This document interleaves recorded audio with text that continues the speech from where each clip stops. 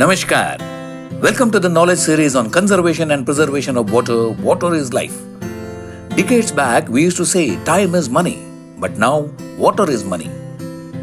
There are businesses stopped, houses vacated, cities deserted because there is no water. If we do not use water sparingly, we may have to spend a fortune to survive. In future, no water is no money, no life. In the earlier days, man used to live besides a water source, be it a river, lake, stream, or pond. All civilizations have come into existence next to the water source. As time passed and science developed, we have started living away, kilometers away from the water source. Using modern techniques, we have managed the water to flow through pipes and reach our kitchen and bathrooms.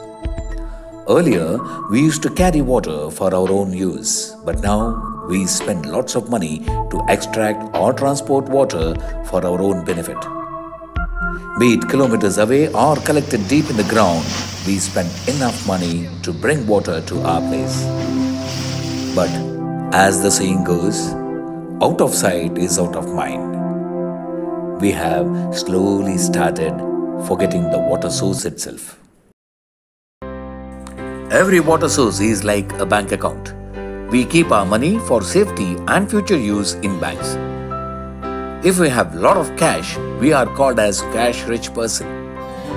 All the surface water like river, lake, pond, spring, etc. are like cash in hand. We do not spoil or use soiled currencies.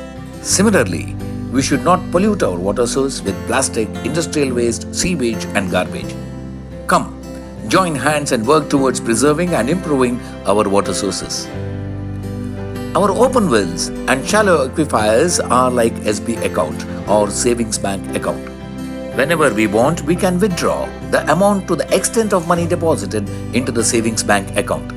Similarly, we need to recharge our open well and groundwater table to the extent possible. The more we recharge the groundwater, the better will be the, our withdrawal capacity and for a longer duration. Fixed deposit is the water stored in the deep aquifer which is extracted through bore wells or tube wells. Fixed deposits are withdrawn only when you are in urgent need of money. Withdrawing fixed deposit on a daily basis will empty our resources. Just like fixed deposits are to be renewed and replenished regularly, bore wells are to be recharged and replenished every year. This will help us to reap the benefit for many more years. Friends, now we know if there is water, there is life. That is why I say we should not spoil the surface water which is like hard cash. We do not use spoiled currencies, hence we should not spoil this water. When we need money for our day-to-day purpose, we withdraw from our SB account through ATM card. Same way, we should draw water from open wells which are acting like an SB account. When we need large quantity of water or when the open well goes dry, then only we should go for our FD account that is deep aquifer, our bore wells. Friends, if we all use water sparingly, we can make this world a better place to live in. We'll be having lot of cash and we'll be having lot of goodwill and there's lot of life in this world. So, water is life.